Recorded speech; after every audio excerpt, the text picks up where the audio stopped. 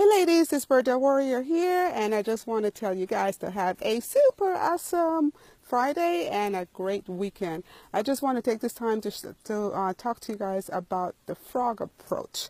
Let me do this. See that little guy there? Look at that.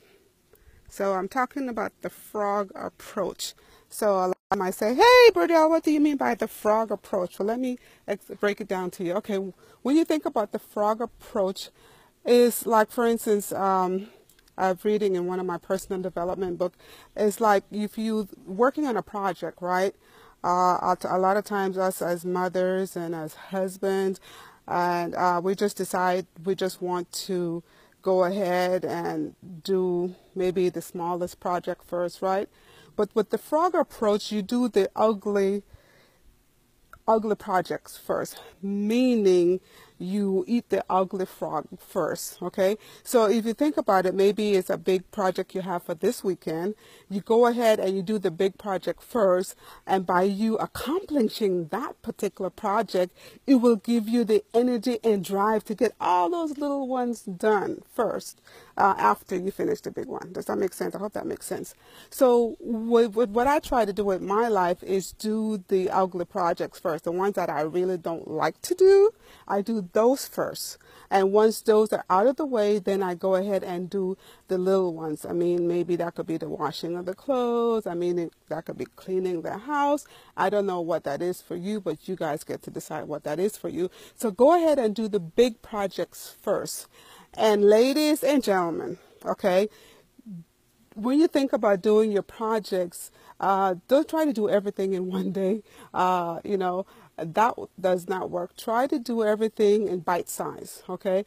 Take a little bit at a time, okay? Whether you have a big project to do, uh, break it down within the week, okay?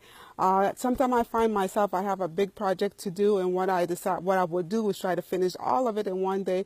And when you think about it, uh, I said, okay, well, you know, and if that doesn't happen, I said, well, you know, what I'm going to do, I'm just going to go ahead and uh, have this month of time. And half the time you find yourself, you don't have that much time. So it's best to do a project and take bite size. Like maybe you'll have a five hour project. So you might want to do something maybe four to five minutes, an hour each day until the task is complete. I hope that makes sense. So it's better for you energy wise. You could save a lot of time by just doing stuff bite size and then you can do it to your best of your ability. I find for myself when when I have a big project and I'm trying to get that whole big project done, I find that I burn myself and sometimes I sabotage myself because things happen, things comes in the way, right? And then you're not able to get that project done and then you feel like, oh boy, I didn't get what I needed to get done today. But um, take it from me, um, from my experience, go ahead and uh, if you have a big project, just do it in increments. Okay, what does that mean like for you? Maybe you only have Monday, you only have 30 minutes, you know, Tuesday, and then maybe Wednesday you don't have no time on Wednesday. So think about it that way, okay? And uh, also just go ahead and think about when you're doing, uh, have a big project, think about doing the ugly stuff first. The one that you really don't want to do, do that particular assignment first.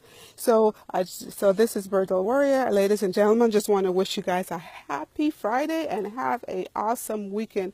And you can also find me at Go Higher uh, Mindset Marketing. So with that, ladies and gentlemen, have a super awesome weekend and I talk to you guys soon. Bye-bye.